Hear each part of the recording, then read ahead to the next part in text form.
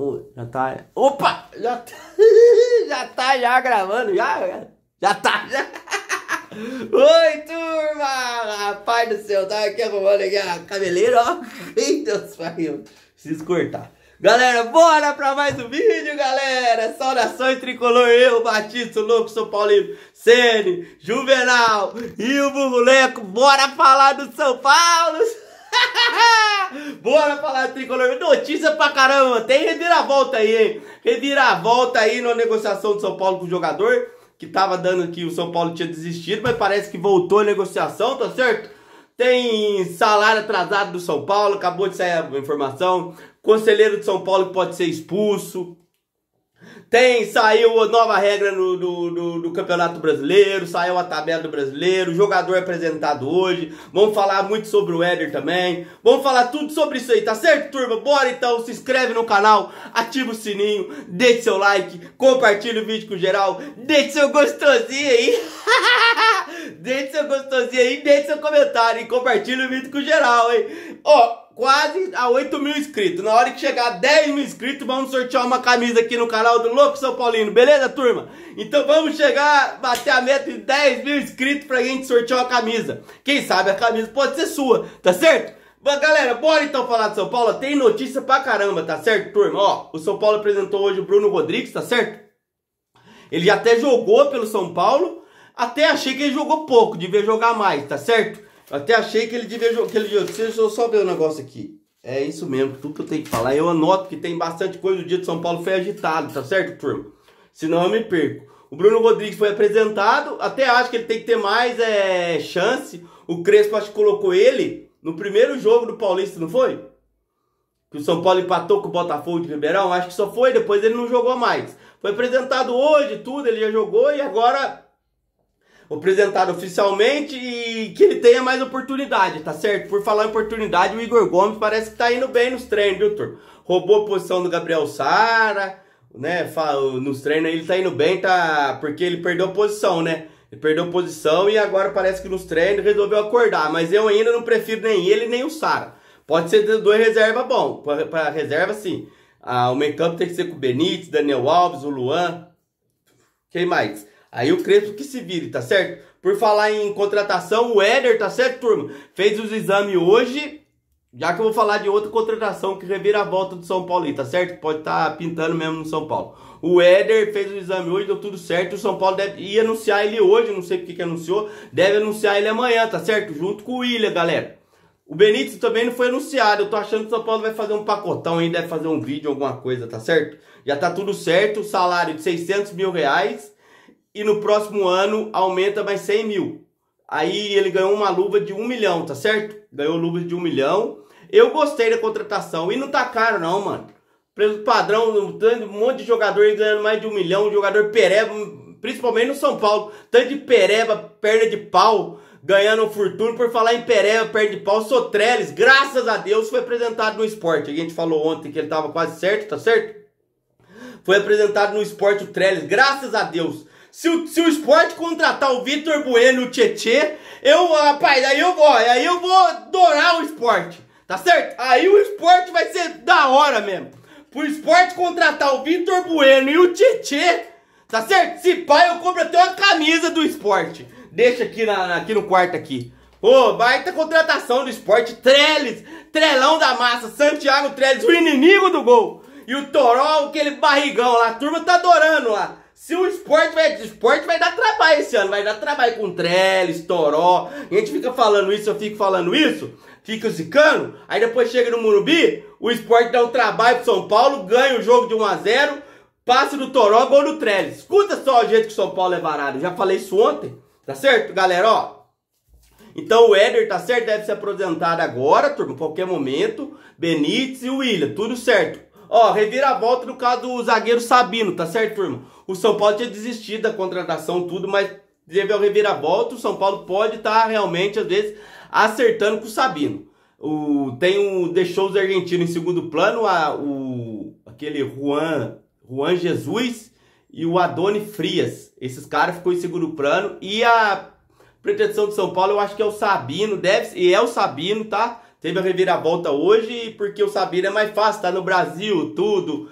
É, o Santos também quer negociar ele, 200 mil reais de salário, tá certo? E vai aumentando. E quatro anos ele tem com o Santos de, de, de contrato. O São Paulo vai gastar só com salários com ele. O Santos ia repassar ele pro São Paulo. Porque o Santos não vai ficar com ele. E o Crespo, que é um zagueiro canhoto. E ele é canhoto. Então, dizendo a lenda aí, eu vi muito pouco do Sabino. Que ele se valorizou. Apesar eu vi um pênalti dele aí, que ele, ele dá um pulinho e chuta pra cima. Mas é apesar que a turma é maldosa. Porque só tira esse pênalti, tá certo? Ele, ele bateu, acho que, oito pênaltis no campeonato. E acertou seis. Tá certo? Então teve reviravolta, turma. Quem sabe o Sabino pode pintar no São Paulo, tá certo? Ó, Muita gente elogiando o Arboleda hoje pela atitude dele, beleza.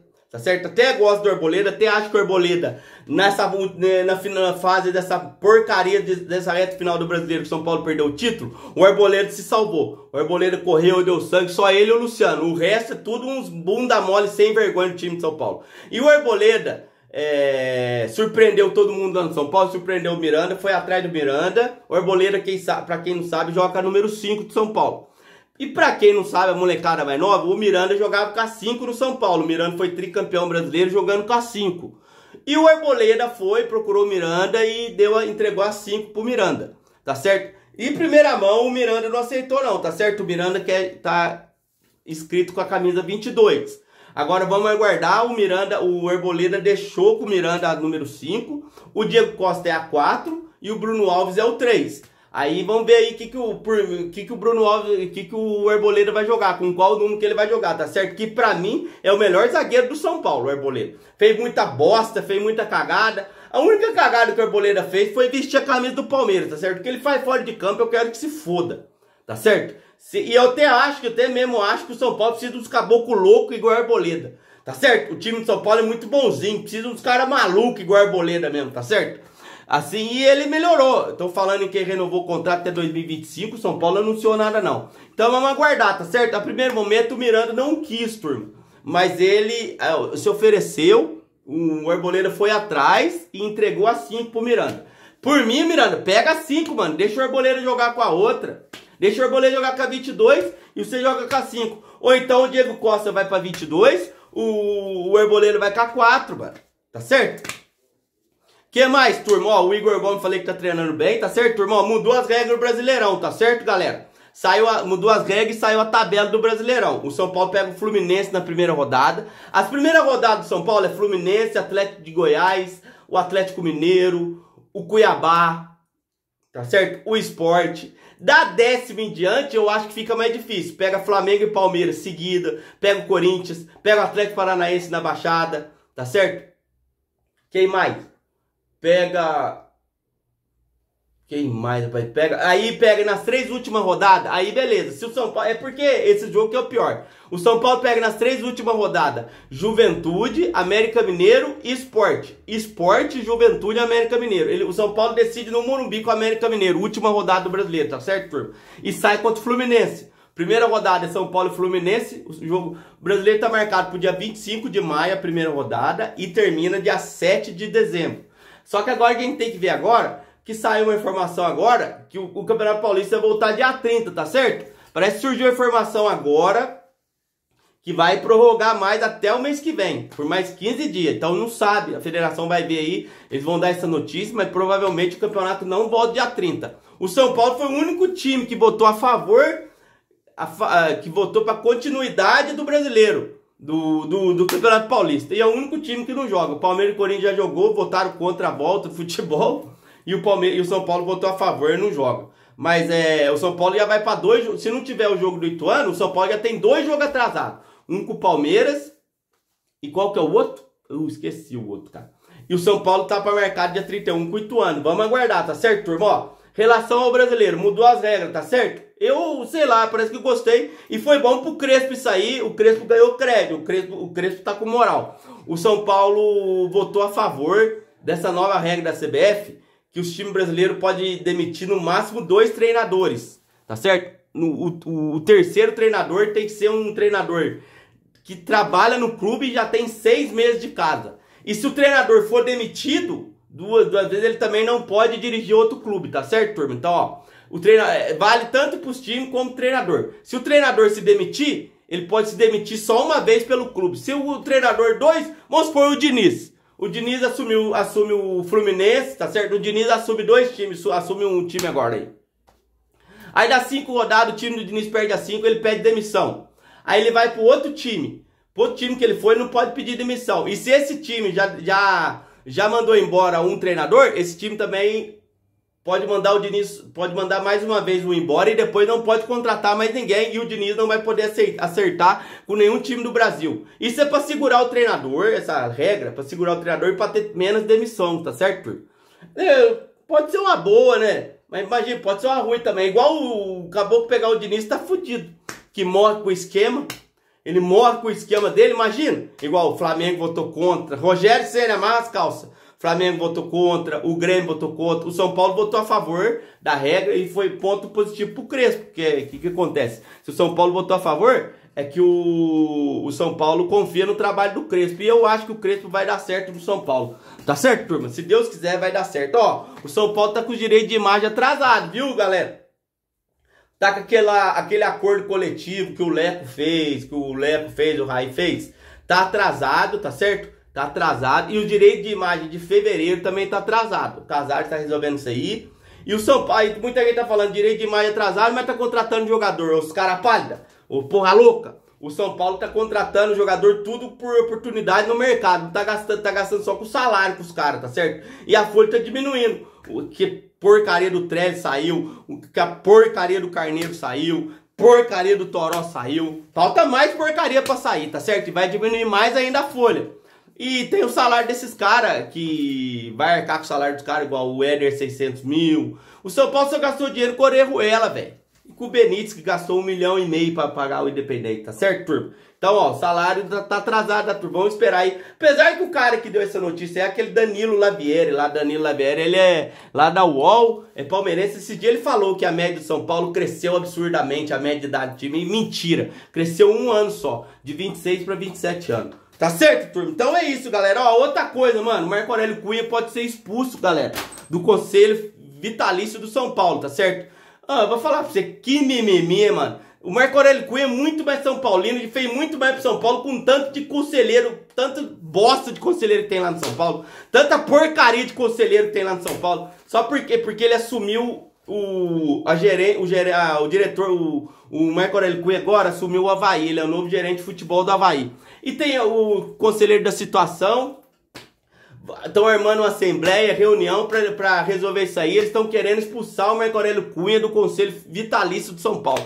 Que bobeira, hein? Marco Aurélio Cunha é muito mais São Paulino que um monte daqueles velhos gagata no São Paulo, do Conselho de São Paulo. Um monte de retardado que não entende nada de futebol, que só faz mal pro São Paulo esse conselho. E o Marco Aurélio Cunha ajudou muito São Paulo e vai ajudar muito ainda. Então fica quieto aí esse conselho de São Paulo. Larga a mão de bobeira, porra! Marco Aurélio Cunha é o melhor que tá. É um dos melhores que tá tendo depois do Casares aí, ó. Oh, deixa o cara quieto, deixa o cara trabalhar e daí ele vai voltar pro São Paulo e larga a mão de encher o saco dele. Tem um tanto de conselheiro xarope que tem no São Paulo, tem tanto de, né? Que, que mais tem? Tem um monte de bosta lá de conselheiro de São Paulo e vai enchendo o saco do cara. Oh, caramba, mano. Olha, falar pra você, viu, turma? Então é isso mesmo, galera. É tudo isso que eu tinha que falar, tá certo? Aí, Arboleda, Miranda, falei. Bruno Rodrigues apresentado, falei. E, aí o São Paulo estreia Fluminense no Brasileiro e termina com o América Mineiro. Bora pro momento, tamo junto, turma. Saudações tricolor. Bora, um abraço pro Rafael Pereira. Um abraço, Rafael Pereira. Saudações tricolor, mano. Tamo junto sempre. Um abraço pro Leonardo Lima. E pro Digo Lima, o Leonardo Lima é sobrinho do Digo Lima. O Digo Lima tá sempre acompanhando aí o canal. Um abraço, Digo Lima. Saudações tricolor, mano. E um abraço pro Anderson Silva, mano. Um abraço, Anderson Silva. Saudações tricolor, mano. Puta, alguém mandou eu mandar abraço no, no Instagram ou no meu WhatsApp. Agora eu esqueci.